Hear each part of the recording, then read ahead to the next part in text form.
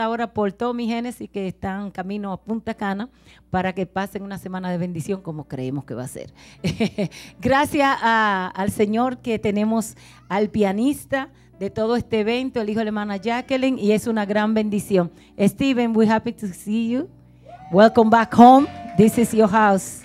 Y nos gozamos de ver a Howard y a Melissa. Vamos a oír palabra de Dios tenemos la hermana Francia Aponte, hermana de Tineo, que no porque es hermana de Tineo, sino porque Dios la usa, va a ser la portavoz de la voz de Dios, pero Dios va a hablar a través de ella. Así que atentos a lo que Dios tiene.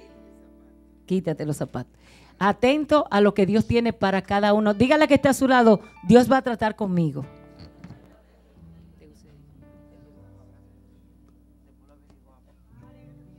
Dios te bendiga, iglesia. Dios te bendiga. Me gozo en estar con ustedes una vez más. O yo rebajé o esto subió. Es nuevo, ¿verdad? Ah, bueno. Nunca me había sentido así. Me gozo en estar con ustedes.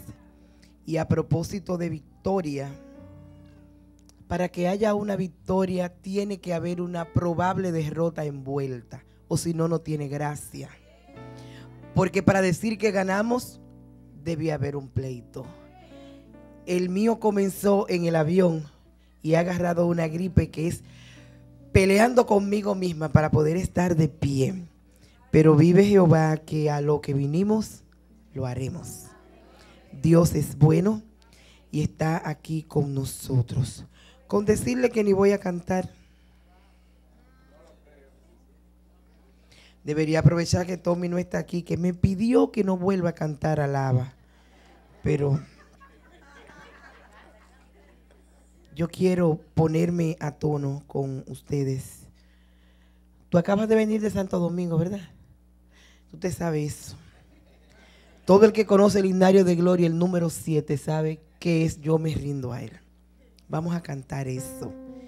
Si alguno puede echar a andar la memoria pues eso es un canto bien viejo, pero muy bueno. Mientras le pido que busquen en Josué. Santo el nombre de Jesús. Capítulo 3 y versículo 5. Josué capítulo 3, versículo 5. Dice la palabra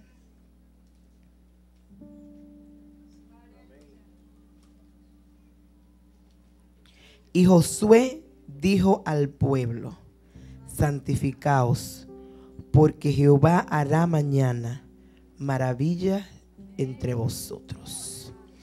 Gracias por tu palabra, Señor. Y gracias porque tu espíritu trabaja mientras se predica. Porque tu palabra es la espada del espíritu. Y en este día de consagración, de rompimiento, en este día de rendición, nosotros te pedimos con humildad y con sinceridad que tu Espíritu Santo agarre su espada, que es la palabra, y que comience a cortar donde tenga que cortar. Que profundice en nuestras vidas, en nuestro corazón. Que agarre nuestra alma y la parta, la divida en dos pero que no quede ninguna cosa que te desagrade, porque queremos que llueva tu gloria como se cantaba en este momento. Queremos que la nube de tu gloria nos envuelva. Queremos que todas las cosas que tú has prometido para nuestras vidas no tengan ni un retardo en el nombre poderoso de Jesús.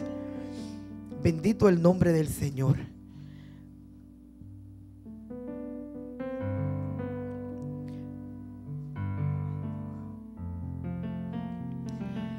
Todo a Cristo yo me rindo con el fin de serle fiel. Tenías razón.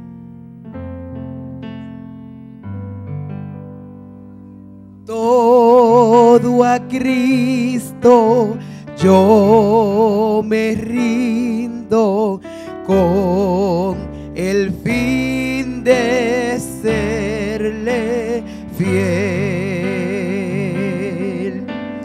para siempre quiero amarle y agradarle solo a él. Yo rindo a él. Yo me rindo a él. Todo a Cristo yo me entrego.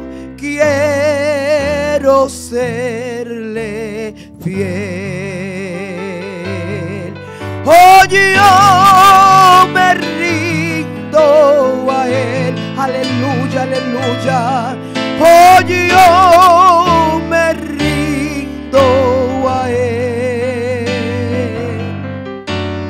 Todo a Cristo yo me entrego. Quiero serle fiel otra vez. Hoy yo me rindo a Él.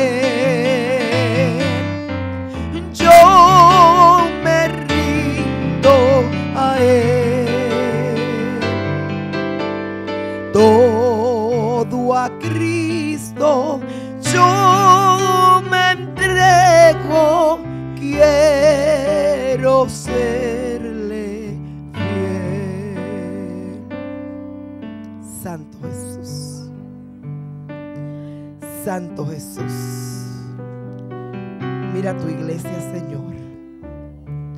Mira tu iglesia, Señor, que ha comprendido tu sentir, que estás cansado de que se rompan los vestidos.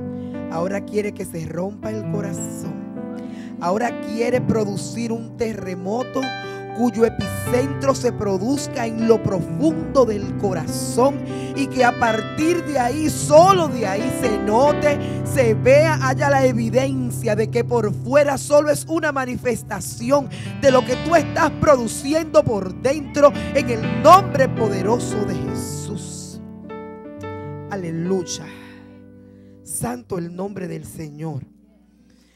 Les tengo que hacer una confesión creo que será la única vez o la primera vez que seré tan breve.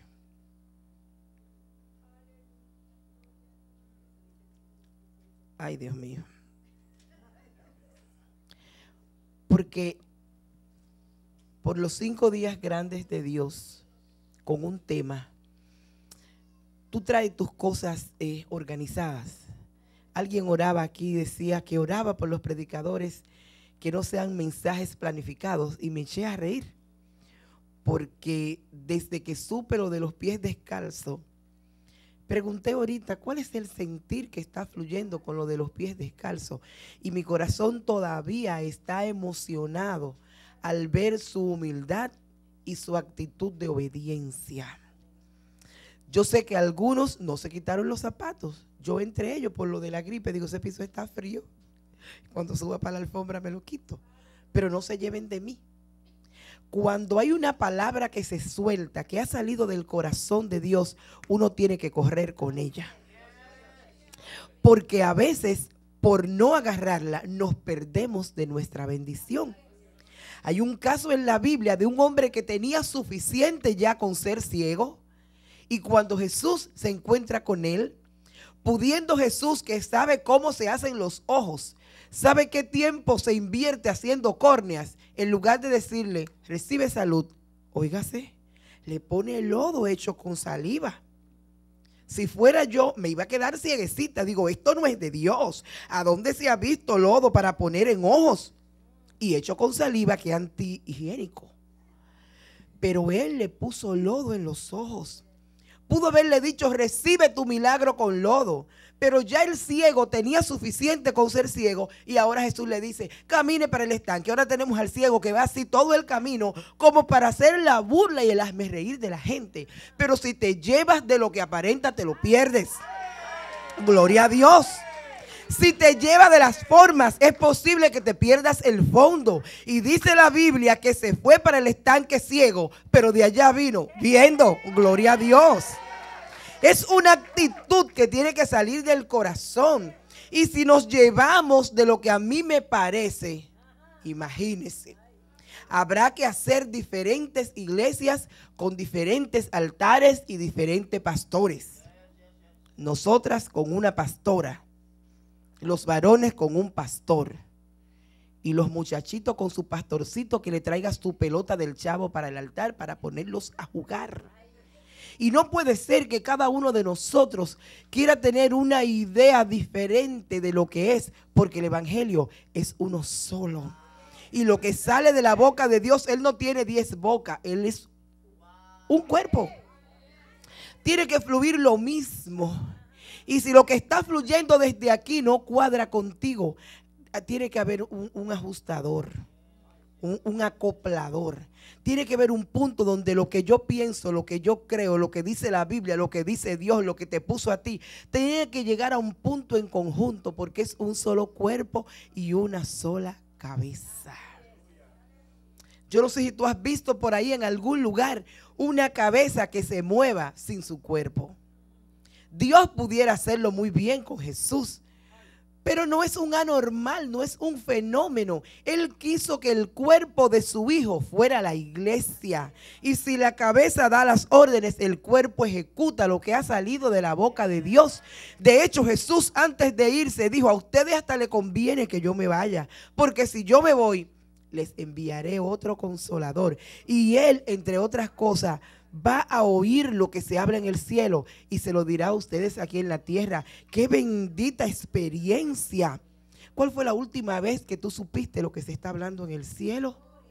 ¿Cuál fue la última vez que el Espíritu Santo habló en tu corazón y te dijo, mira, no lo hagas, porque allá en el cielo oí que dijeron tal o cual cosa a tu favor? Mira, detente un momento, porque si te esperas un momento, escuché allá en el cielo algo a tu favor.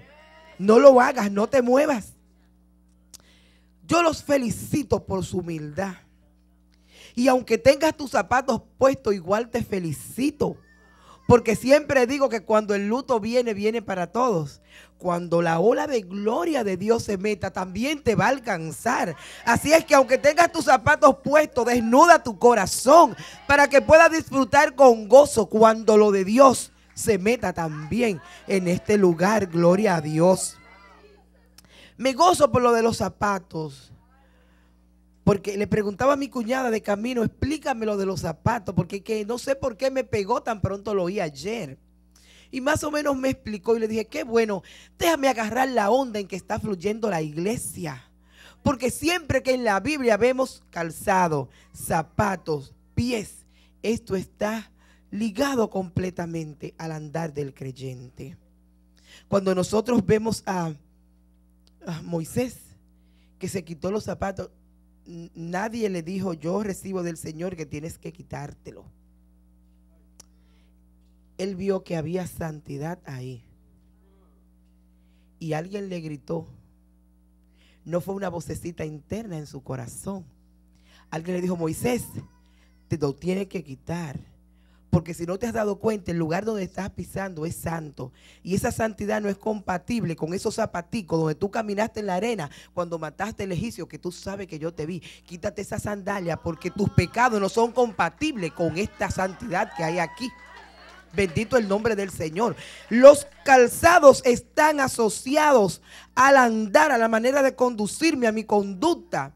Y nosotros somos testigos que hemos tenido conducta que son agraviantes, conducta que han dañado a otras personas, conducta que han desagradado a Dios. Y no podemos venir aquí con una pose de santidad y santo y rompiendo cosas cuando sabemos que tenemos una dureza interna que tiene que ser rota en el nombre de Jesús. Gloria a Dios. Pero nos gozamos por la intención, por el deseo, por la obediencia. ¿Sabe por qué? Porque Dios ha determinado que nosotros seamos nueva criatura.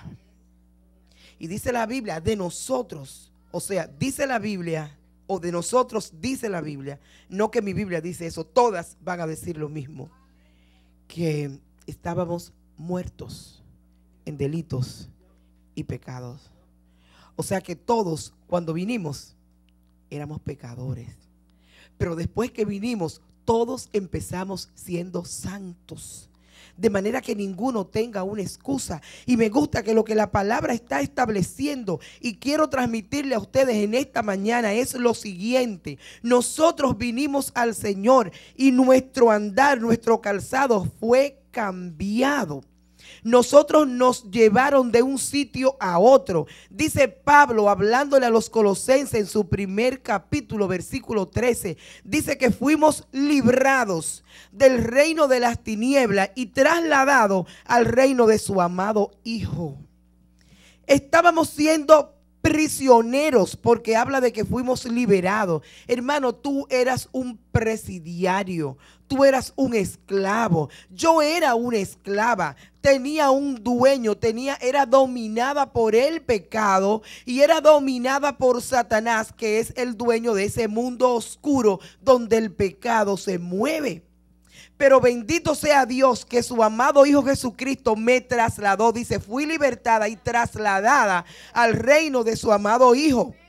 Óyeme, no estás de visita, mi hijo. No estás de visita en este reino. Te trasladaron, te mudaron. Tú perteneces aquí. De manera que estos viejos de aquí no guardan relación con lo que aquí se vive. No podemos tener como esa esa fusión de hoy pecador, mañana santo. En mi casa mala y aquí buena. En la calle una cosa y del otro lado te mudaron. Tienes un cambio de dirección. Ahora tu dirección pertenece al del amado Hijo Jesucristo. Tienes un nuevo dueño. Te libertaron y te cambiaron de lugar. Santo el nombre del Señor. En este cambio de lugar a donde me han puesto, a donde me llevaron, a donde yo tengo mi residencia fija aquí en el reino del amado Hijo. Ahora, ahora aquí las cosas son un tanto diferentes. La Biblia nos llama nueva criatura y aunque no se puede explicar, tú sabes que tú lo has experimentado. Aleluya. Tú sabes que ese bendito día, cuando por la fe en Cristo confesaste que Él es el Señor y depositaste tu vida en las manos del Señor, se operó uno de los conceptos de la salvación probablemente más difícil de entender que tiene que ver con la regeneración. Esto lo aclaro porque aunque tú lo sabes, vi que tenemos amigos. La regeneración es un nuevo nacimiento de índole espiritual, donde ya tú no guardas relación con lo de ayer. Ahora tú eres una nueva criatura, pero con nombre y apellido. Ahora tú te llamas santo. Me gusta. Ahora tú te llamas santo sin haber hecho nada. Solamente reconozco que soy pecador y reconozco que tú eres mi Señor. No quiero pertenecer al reino de las tinieblas. Me mudo para el reino de mi amado. Oh, ya yo no soy Francia. Ahora soy Santa Francia. ¿Y el pecado de ayer? No sé. ¿Quién pecó ella? porque a veces nos perdemos y queremos meter a Dios en ayer, en futuro. Una de sus definiciones es el presente. Dios es el eterno presente. A Dios ni le preocupa tu pasado ni le impresiona tu futuro. A Dios le gusta ver en lo que tú estás hoy. Porque lo que hagas hoy determina qué tanto te afectó el pasado y hacia dónde caminas en el mañana. Es el día de hoy. Lo repite, el día es hoy. Aleluya. Entonces cuando venimos al Señor, Él nos da la herramienta. Eras pecador, ahora empiezas santa, ahora empiezas santo. Y por un breve tiempo tienes que practicar esa santidad. Ese tiempo comprende desde el día que Él te hizo santo hasta el día que salgas de aquí por muerte o por el rato.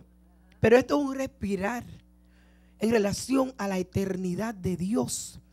Dios está demandando santidad oí a alguien hablar de la senda antigua y la senda antigua no es más que la senda nueva, porque la senda de ayer es la de hoy y la de mañana. Dios quiere que la santidad sea el camino que nosotros recorramos. Gloria a Dios. Entonces ustedes dirán, ¿y esto qué tiene que ver con victoria? Tiene que ver todo, porque la Biblia habla que no hay ningún tipo de condenación para los que no andan conforme a su carne, sino conforme al Espíritu. Y nuestra derrota estaba basada en una condenación que pesaba en mi contra. Y si no hay condenación, yo soy libre y victoriosa por medio de aquel que me ha amado y que me ha salvado. Pero no, podemos empezar cinco días grandes de Dios para este estado, para mi vida para esta iglesia, para tu familia, si no tenemos victoria en lo personal. Así es muy bueno. Yo llegué antes de ayer y me voy el viernes. Y yo vengo aquí a impresionarlo. Levántense, griten un grito de júbilo, aplaudan, tírense, ahora lloren, tírense de barriga. Y usted dice, no, esa mujer la trajeron para hablar. Y yo no tengo control de mí misma. Y así no hay victoria. Tú tienes que tener victoria sobre tu propio temperamento. Victoria sobre esa manera tan intemperante de mostrarte. Que hoy tú estás de un humor y mañana estás de otro. Hoy tú quieres saber, mañana no quieres. Hoy tú sirves al Señor y mañana no. Dices que todo depende y que una tristeza y una congoja. Hoy yo no estoy en eso, no yo voy mañana. Así no se puede. Dios quiere que tengamos victoria de nuestro interior. Dios quiere controlar mi carácter, mi temperamento. Dios quiere tener control de mi vida. Porque no estoy de visita. Me mudaron para el amado reino de Jesús. Yo vivo ahí, aleluya. Y es la manera nueva de comportarme. ¿Por qué Dios quiere que yo tenga victoria sobre mí?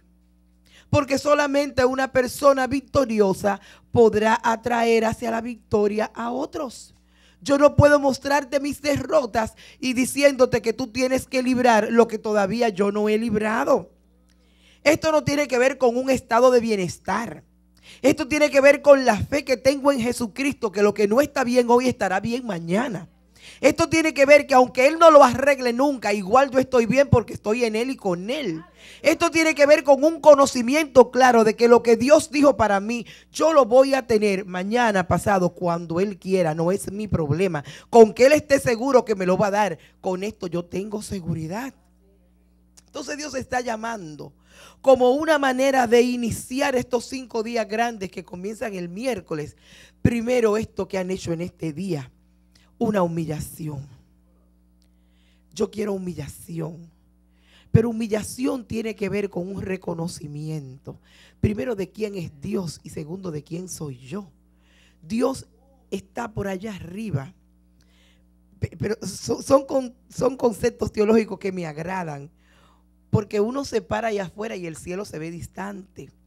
Pero uno viene de un país a otro a 35, 40 mil eh, de pie de altura y uno ve el cielo tan distante como lo ve desde aquí, desde la tierra. O sea que Dios es bien alto. Está bien alto. Pero así de lejos como está, está en tu corazón. Dios es distante, pero es cercano. Es mi Dios, es tu Dios. Entonces tener esto claro me ubica a mí que yo soy un puntito frente a todo esto. Yo soy prácticamente nada. El valor que tengo lo tengo por su gracia, por lo que Él ha dado, por lo que Él ha depositado. Entonces venimos humillados delante de Dios con ese reconocimiento de quién es Él y de quién soy yo. Pero en segundo lugar, venimos humillados sin engaño. Alguien decía ahorita, que no le digas a Dios si te he ofendido, si le hemos ofendido. Y si queremos ver victoria a partir de esta semana, tenemos que hoy ajustar algunas cosas que tienen que ver con nosotros mismos. Yo sé que decirle esas cosas que tú debes, el Señor la paga en esta semana. A mí no me gustan ni ese tipo de cosas.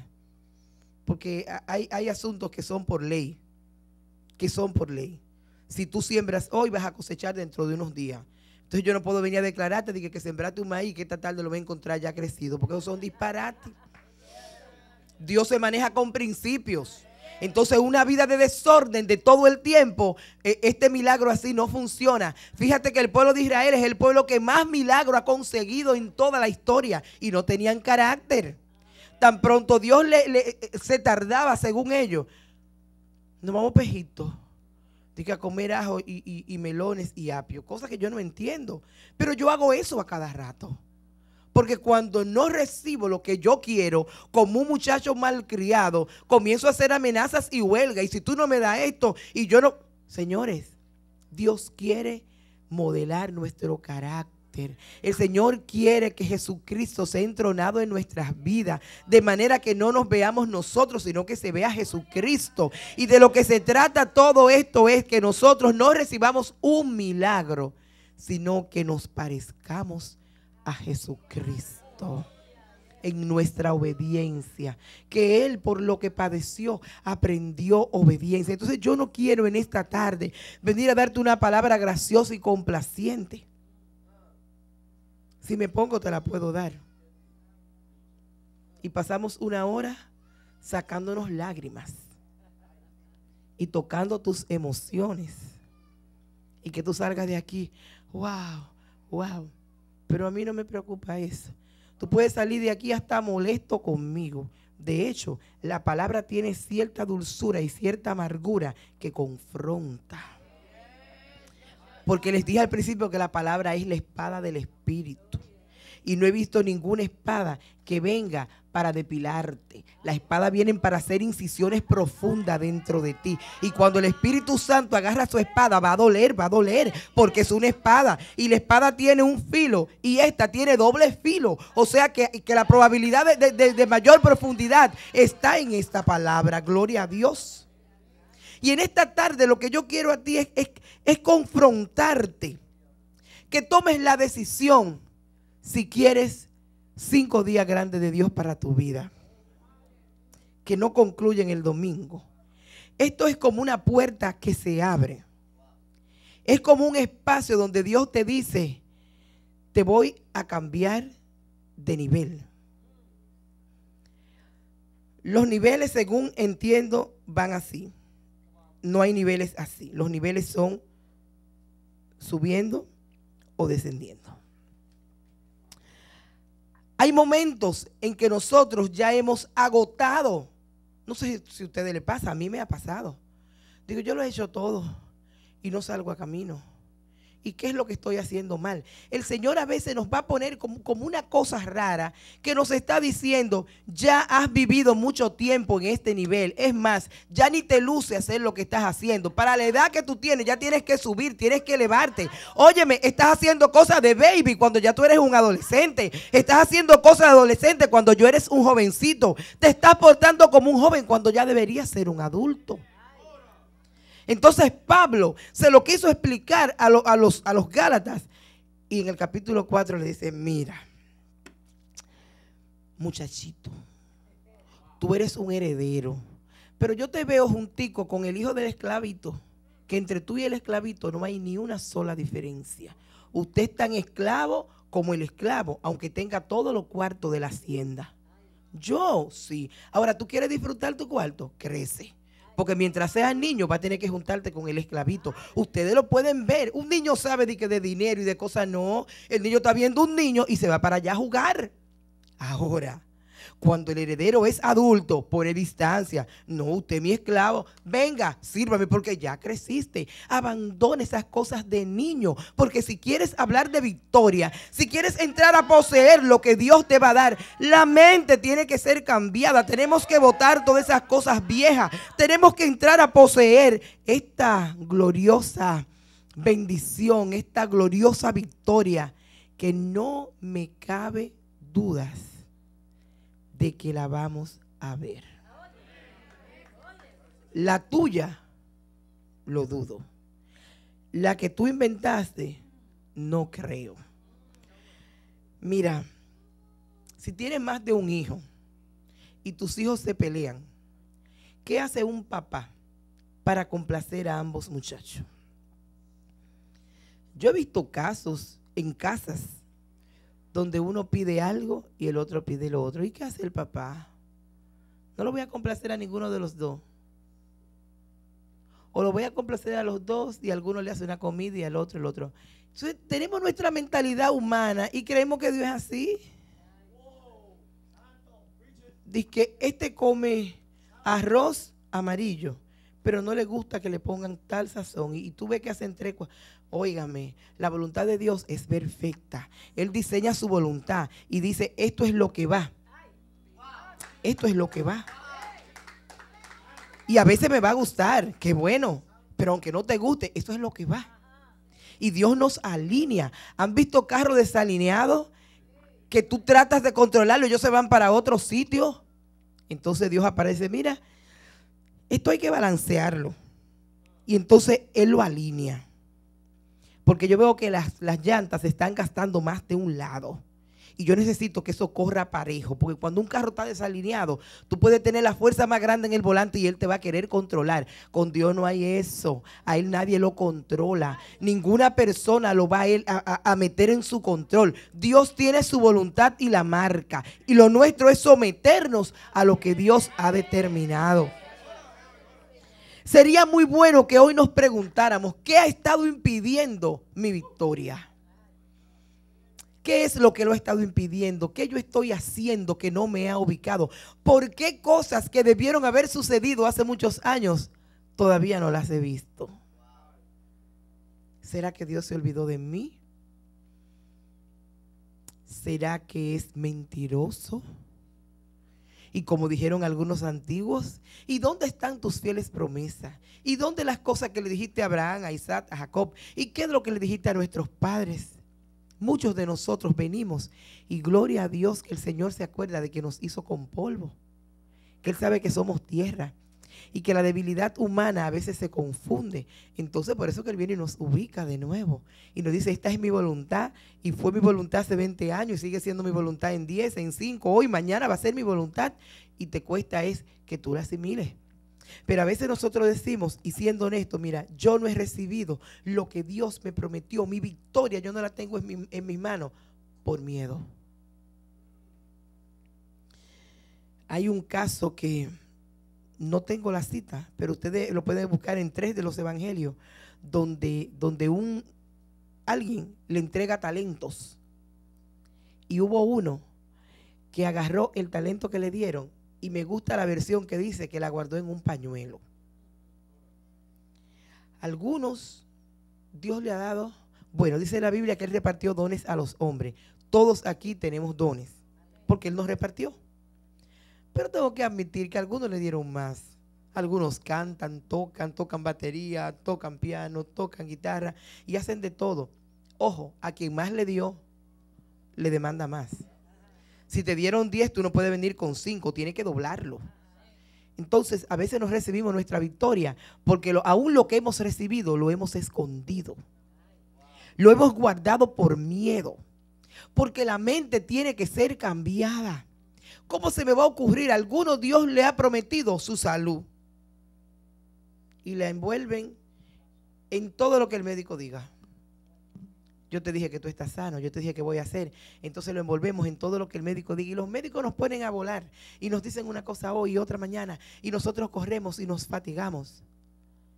algunos Dios le ha dicho, como a esta iglesia, que tengo más de 12 años escuchándolo, que el 10% de la población de este estado, el Señor le entregaba en manos Imagínate que yo coge esa palabra y dice que la mete en un pañuelo. ¿A quién se le ocurre meter algo tan poderoso en un pañuelo? Por algún lado se va a salir. Hay palabras que están al punto de explotar porque fueron escondidas, pero cuando llegó el tiempo de que eso explote, no habrá pañuelito que agarre lo que Jehová ha dicho. No hay manera, no hay manera. Lo que quiero decirte en esta tarde es que abandones tu miedo, porque por encima de tu miedo, cuando llegó el tiempo del Señor hacerlo, va a ser. Santo el nombre del Señor. Algunos lo que le ha impedido recibir lo que Dios dijo es pecado. Ese tema es el gran ausente de los altares. Porque el pecado no guarda relación con un bienestar eh, humano. Y Dios se mueve por principio, es verdad. Algunas personas inclusive son sembradoras que siembran, eh, no se cansan, pero son una porquería por dentro. Y óyeme, es verdad que lo que siembras lo vas a cosechar. Si tú diste dinero, vas a tener dinero. Pero eso no te compra la vida eterna. Te lo digo porque algunos pueden impresionar a uno con dinero, pero a Dios no. Oiga lo que dice la Biblia de él mismo, que él es dueño del oro y de la plata. Esa que tú tienes, tu platica, es de él. O sea, ¿cómo, cómo tú lo vas a impresionar que con un poco de dinero? ¿Con cuánto se impresiona a Dios? No, hombre, todo es de él, inclusive tú. Todo es de él. Entonces, va a llegar un momento cuando lo que tenemos, los recursos, aunque lo demos, si no le damos el corazón a Él, no estamos en nada. Entonces el mensaje del pecado y de la santidad se está volviendo ausente de los púlpitos, porque si yo eh, eh, pincho mucho lo de la santidad, unos cuantos impuros que dan dinero se me pueden ir. Entonces me da un miedito yo perder al que sustenta mi ministerio. Mi sustentador se llama Jehová de los ejércitos. Y Él es el que da y el que suple. Es un momento de alinearnos porque si queremos victoria, primero viene la santidad. Porque victoria en manos de gente poco santa se va a volver una anarquía. Todo el mundo va a querer hacer lo que le da su gana con su victoria o su pedazo de victoria que ha recibido. Por eso Dios llama hoy. ¿Quieren victoria? ¿Quieren entrar a poseer? Cada uno revise a dónde habrá un punto. ¿Qué, ¿Qué, es lo que está impidiendo? Hay un caso en la Biblia que para mí es una cosa penosa. Sansón ni existía. No existía. Pero Dios soñó con él. ¿Quién entiende a Dios? Porque ya había gente viva. ¿Por qué no comenzó con esa gente? Ah, él lo mandó a buscar. y a través de un estéril le dijo, tú vas a concebir un hijo, yo, yo, soy estéril.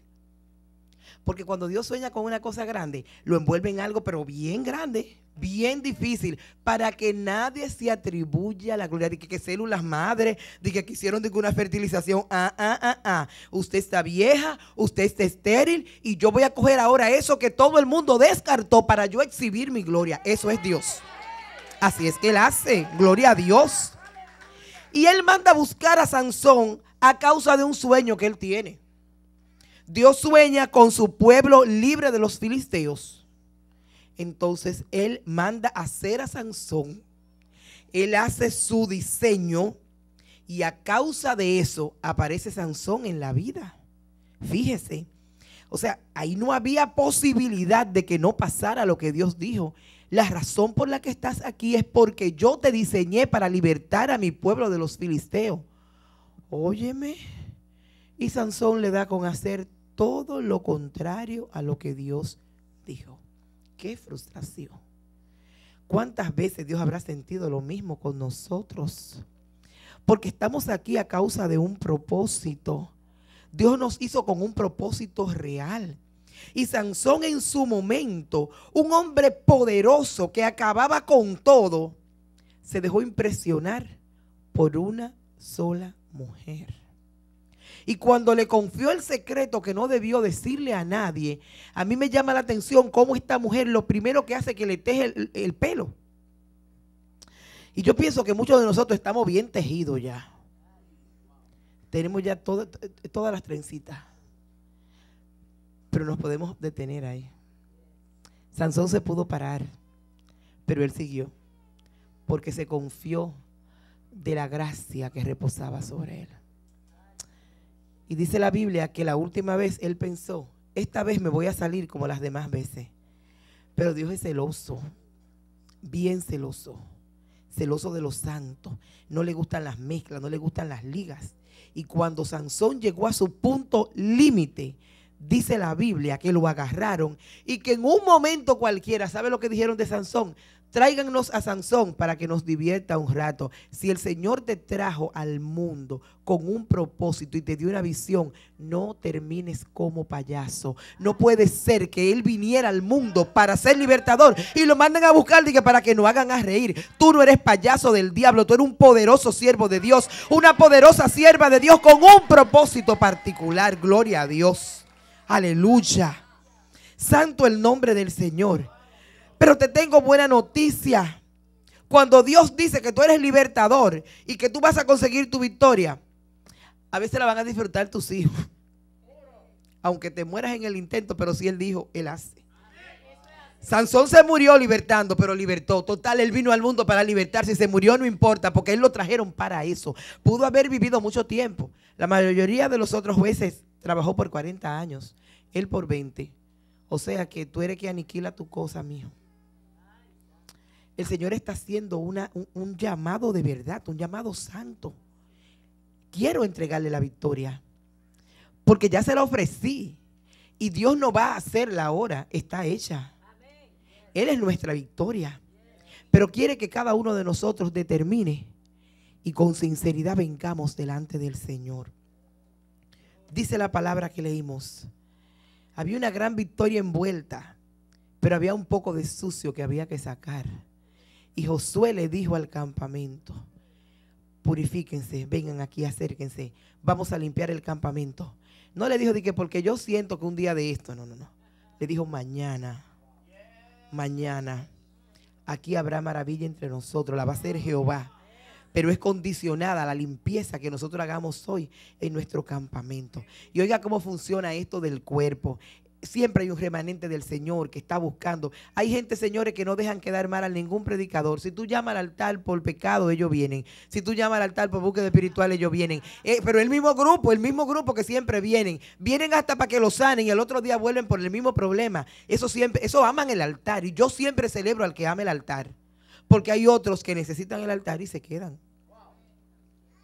El asunto es que somos un pueblo y cuando Dios va a traer algo como iglesia, quiero ministrarte esta tarde que tú no seas el responsable de que eso se detenga. Que tú le puedas decir al Señor, si soy yo, Señor, yo quiero poner delante de ti esto que he estado haciendo por mucho tiempo. Esta situación que yo no le quiero contar a nadie, pero que tú la sabes, yo quiero que tú la arregles. Pero si tú has determinado cinco días grandes de Dios para esta iglesia y esta ciudad y este estado, cinco días grandes que no se terminan el domingo, sino que son la puerta de entrada hacia lo grande que Dios va a hacer, yo no quiero ser el impedimento y yo no me quiero quedar afuera, yo quiero disfrutar también y poder gozarme. Y yo quiero venir delante de ti a entregarte eso que no ha permitido que yo disfrute tu victoria. Yo le quiero hacer un reto a la iglesia Emanuel. Ustedes pueden traer al predicador más prominente. Y no se trata de predicador. Le digo la verdad. Se pudieron ahorrar el boleto mío. Con venir aquí al altar. Señor, lo que le quiero decir es que esta es una de las iglesias que para mí es un reto predicar porque aquí hay un excedente de palabra. Yo he visto aquí hermanos que no los vi la última vez y cuando vuelvo te dan una clase de palabra y dice, pero ¿de dónde la sacó? Usted se convirtió el otro día. Aquí hay palabra. Aquí hay palabra de verdad. Entonces, ¿dónde está el problema? Alguien dijo que el asunto no está en el cielo, que busquemos el resultado aquí abajo, porque ya la ya determinó. Y dice la Biblia en alguna parte que la victoria es del Señor. ¿Dónde han dado el problema? Cada uno de nosotros sabe. Y si no lo sabe, podemos decirle, como le dijo David o Job, enséñame tú lo que yo no veo. Si lo hice mal, no lo vuelvo a hacer más. Pero yo quisiera poder encontrar la forma de como yo transmitírselo, pero no puedo. Y voy a apelar a que el Espíritu Santo, que es conocedor de todas las cosas, hable fuerte en tu espíritu y te diga lo que tienes que abandonar es esto. Porque una palabra le digo, Dios determinó la victoria. Él la determinó. Y sea todo hombre mentiroso, pero Dios verdadero. Y cuando Dios determina, es más, ¿sabe lo que yo quiero ver desde aquí en sus caras? La expectativa del que pronto va a conseguir su victoria. Porque yo le he creído a Dios que es así. Y voy a ajustar esos pequeños detalles que no andan bien. Y yo sé que es cuestión de día, cuestión de meses, cuestión de horas. Yo no sé, el Señor sabrá. Pero tengo expectativa, estoy expectando porque viene algo grande. Yo no sé, pero ya va a comenzar a sonar. Entonces yo quiero, yo quiero estar ahí. Si es mi actitud que tengo que deponer, Señor, aquí está. Pero que nada retrase lo que Dios determinó. Cumplí. Yo quiero saber si hay aquí algún amigo que quiera conocer a Cristo. Antes de, de extenderlo, Quiero saber si hay algún amigo aquí que quiera conocer a Cristo. Porque no hay nada que sustituya esa fiesta en el cielo. Podemos nosotros estar aquí produciéndole alabanza a Dios, pero nada es tan importante allá arriba que hasta genere fiesta que un pecador que venga arrepentido. Por eso yo quiero pedirte que tú inclines tu cabeza y ores por esas personas que están acá que necesitan conocer a Jesús. Yo quiero en este momento orar por ti, pidiéndole al Señor que toque tu corazón que el Espíritu Santo, que entre otras cosas viene a convencernos de pecado, convenza tu corazón de que este es el momento, que el día es hoy, para entregarle tu vida a Cristo. Ay, mi amor.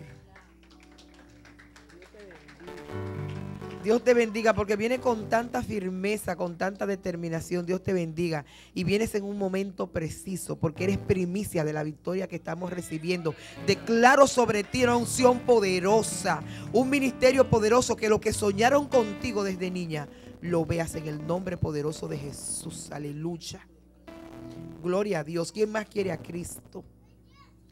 ¿Quién más recibe a Cristo en esta mañana? Santo el nombre del Señor. Creo por salvación. Que el Señor quiere salvar. ¿Quién más desea a Cristo en esta tarde? ¿Quién más quiere conocer al Señor? Él se quiere dar a conocer y tú necesitas a Jesús. Jesús quiere salvarte en esta tarde, en este día. El día es hoy. El Señor está aquí, iglesia. El Señor está aquí entre nosotros. El Señor está aquí poderoso y ha de salvar. Ya ha comenzado. En esta hora, oh Señor, pedimos por las vidas que están en este lugar que han venido aquí en este día porque están diciéndote con esto, yo quiero a Cristo. Pudieron tener otros lugares para estar y han venido a la iglesia han venido a encontrarse con Jesús porque Jesús había salido primero para encontrarse contigo y hoy puede darse ese, ese encuentro particular donde hay salvación en el nombre poderoso de Jesús. Señor, mire esta vida que está aquí en el altar. Con qué decisión una preciosísima sierva del Dios Altísimo. Una vida poderosa que el Señor hoy la toma en sus manos y no solamente la salva, sino que le entrega dones poderosos. Aleluya. Donde será evidente en el nombre poderoso de Jesús pido, oh Dios mío, señales, evidencia de lo que tú vas a hacer con ella. Pedimos liberación. Todo lo que ha estado estorbando en el nombre de Jesús es reprendido ahora en el nombre de Jesús, pero en ella se cumple lo que tú has soñado en el cielo para su vida. Aleluya. Y el propósito de Dios para ti se hace realidad en el nombre poderoso de Jesús. Gloria a Dios. Ayúdenla lo que haya que hacer con ella, pero Dios es, es bueno. Dios te bendiga. Dios te bendiga. Dios. Dios siempre da oportunidades. Gloria a Dios. Eh, yo quiero pedirle, he traído esto porque el Señor lo puso en mi corazón. No hagan ningún tipo de invento mental. Es una, ah, es una, un símbolo, una representación para que se nos quede grabado. Lo que vemos jamás será igual a lo que solo oímos. Entonces, cuando además de oír vemos y hasta participamos y tocamos, la probabilidad de aprendizaje será mayor. Y yo quiero que ustedes se queden con esto en esta tarde. Levántenlo. Hay situaciones que actúan en nuestras vidas como una especie de sombrilla. Está lloviendo, pero a mí no me cae, porque yo estoy bajo una sombrilla. Eso a veces es bueno si no me quiero mojar. Pero cuando me quiero mojar, la sombrilla es un estorbo. A mí me gustaría que los líderes de esta iglesia, los que estén aquí, el que quiera, pase. Yo quiero que se pongan debajo de esa sombrilla.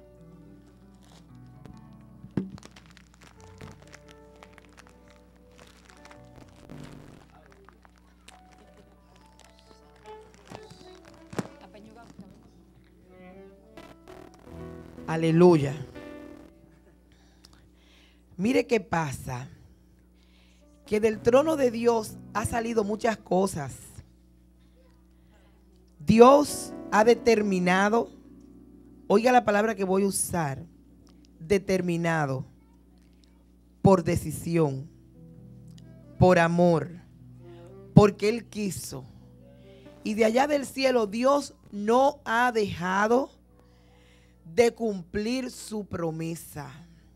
Y Dios ha comenzado a tirar, a derramar. Él ha seguido haciendo. Dios su voluntad ya comenzó a tirar cosas. Hay problemas que hace mucho tiempo debieron estar resueltos, porque en la mente de Dios y en su voluntad hace mucho tiempo que ya hace mucho que lo determinó y Él sigue tirando y sigue mandando, pero tú sigues llorando, tú sigues descubriendo que a ti no te llegan y como que nada se detiene. ¿Y qué es lo que está pasando? La culpa no es de Dios, Él lo determinó, Él lo tiró, ya Él lo hizo. Entonces, ¿qué es lo que está pasando? Llega un momento cuando tenemos que tomar la decisión de decir, mira, ya yo no voy a llorar más. Señor, si es mi actitud, yo quiero deponer esa actitud. Si es mi falta de fe, yo quiero confesar delante de ti que no estoy creyendo. Si es un pecado oculto que yo tengo, yo vengo humillada delante de tu altar y yo voy a arrepentirme. Si es que tengo un rencor con alguien, yo quiero venir delante de ti confesar que yo tengo a alguien metido en mi corazón, pero ya yo quiero entregar ese paquete porque tú has sido bueno conmigo y me has perdonado y yo quiero perdonar como tú me has perdonado. Yo quiero recibir el perdón y en esta hora yo vengo delante de ti. Yo quiero pedirle a la iglesia que se ponga de pie. Y yo quiero pedir a los líderes de esta iglesia que creo profundamente en lo que el Salmo 133 enseña. Primero la cabeza, luego la barba y luego el borde de la vestidura. Si hay una unción que se derrama sobre la cabeza y va corriendo, lo que mayor concentra es el borde de la vestidura. Líderes que no tienen miedo en que lo que yo tengo se traspase a los que están por debajo de mí, al punto que tengan hasta más que yo. Yo confío y creo en eso. Por eso yo voy a pedirle a los líderes que están debajo de ese lienzo que ha impedido que caiga lo que yo he estado tirando, que ustedes ahí donde están levanten su mano. Y en un acto delante del Señor, vamos a orar. Y que ustedes como líderes de esta iglesia, y aún los que tienen el lienzo agarrado, si son líderes de la iglesia, también oren antes de, de hacer lo que tienen que hacer. Vamos a orar y vamos a decirle al Señor, hoy te estamos ofrendando nuestra vida. Estamos culminando este día de humillación y de sacrificio delante de ti. Diciendo que como líderes, si hemos sido los responsables de que la victoria prometida no haya sido alcanzada todavía, delante de tu presencia, nos humillamos, Señor, en el nombre poderoso de Jesús. Padre, en el nombre de Jesús, mira tu iglesia, mira tu iglesia, Señor. Mira tu iglesia, tu iglesia completa, pastores, líderes, eh, hermanos, dirigentes de ministerio, los que trabajan con los niños, con los jóvenes, con la adoración. Señor, los ujieres, todo con multimedia, todo, todo, todo el equipo de esta iglesia que será partícipe de la, de la, de la llegada de tu gloria, de la explosión de tu gloria, de la entrega de la victoria. En este momento, Señor, venimos delante de ti, haciendo un acto precioso de humillación delante de tu presencia. Y en este momento nosotros queremos creer que ese tiempo donde las cosas Dios las manda y nosotros no nos enteramos, se va a terminar. Porque en el nombre de Jesús, nosotros hoy tomamos la decisión de romper en el nombre de Jesús con todo lo que ha impedido. Toma tu decisión, rompe en el nombre de Jesús de una vez y por todas todo lo que, lo que ha impedido que esto caiga sobre ti. Y como un acto profético, tú dices, Señor, a partir de este momento, todo lo que tú quieras que me caiga todo lo que tú has determinado para mí, yo lo recibo en el nombre poderoso de Jesús. Yo lo recibo en el nombre poderoso de Jesús. Nada, nada, nada va a impedir que caiga sobre mí tu lluvia, que sobre mí caiga lo que tú has determinado. Nada lo va, nada, nada, nada lo impide, nada lo impide. Yo recibo tu victoria. Yo recibo en el nombre de Jesús lo que tú tienes para mí. Y salgo de esta iglesia en esta tarde creyendo que no me verán igual que como salgo. Que la próxima vez que me vean, me verán disfrutando de lo que Dios hoy me está entregando para gloria y honra de tu nombre. Aleluya. Gloria a Dios. Dios te bendiga, iglesia. Recibe lo que el Señor te entrega. Gloria a Dios. Aleluya, aleluya, aleluya. Gracias Señor, gracias, gracias, gracias. Gracias Señor, los recibimos, los recibimos. Gracias Señor. Gracias Señor. No hay que añadir nada. Dios habló claramente a nuestras vidas. Recibimos esa palabra. La recibimos y estamos listos para entrar a recibir esa victoria que ya está determinada. Empezando el miércoles, le esperamos a todos, hermanos, temprano a gozarnos en el Señor. Levante sus manos y reciba esta palabra para ir a nuestros hogares. Que el Señor te bendiga y te guarde. Que el Señor siga derramando sobre ti toda clase de bendición que en esta semana, que ahora te sigas apoderando de la palabra de victoria para tu vida, para tu familia, para la iglesia, para la ciudad, para el Estado.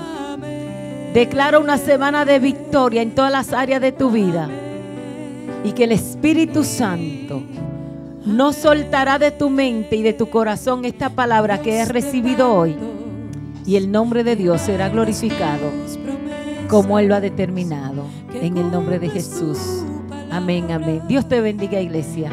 Dios te guarde el miércoles temprano a gozarnos en el Señor. Dios te guarde.